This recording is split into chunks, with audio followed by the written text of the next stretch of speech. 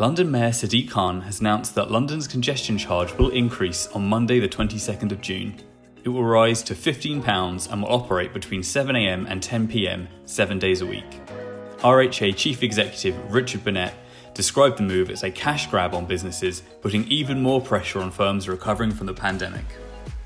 The RHA has applauded the government announcement that post transition border checks on many goods coming into the UK from the EU will be relaxed. This will give firms more time to prepare for the new processes.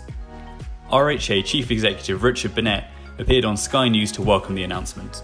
From the 1st of January, businesses will be given a six month grace period between the import of standard goods like electronics and clothing and the need to submit a customs declaration and pay tariffs.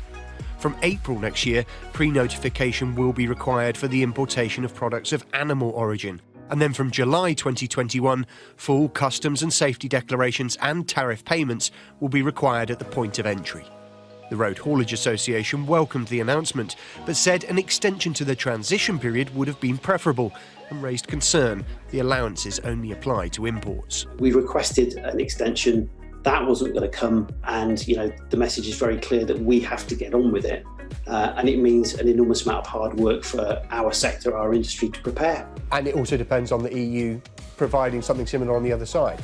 This is absolutely dependent, you know, in terms of in terms of the EU coming to the table, being pragmatic and sensible in the same way that the, the, the British government have been. And if they're not, then we're going to have challenges ahead. The Department for Transport wants to understand the impact the pandemic is still having on your business. We're asking for 10 minutes of your time to help build a strong case to present to the Treasury for industry support. Have your volumes increased as lockdown measures have eased? How are furlough and redundancies affecting your operation? Follow the link on screen to provide vital intelligence. The RHA is running a series of popular free webinars to keep you up to date. Our upcoming webinars are Cash Flow from Your Customers on Tuesday, the 23rd of June, and Preparing for a DVSA Visit on Thursday, the 25th of June.